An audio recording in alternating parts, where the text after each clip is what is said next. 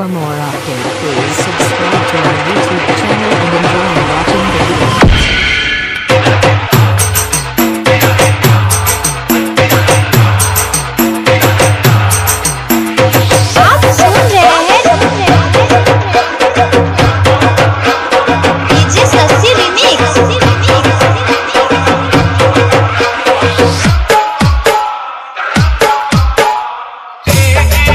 Speak.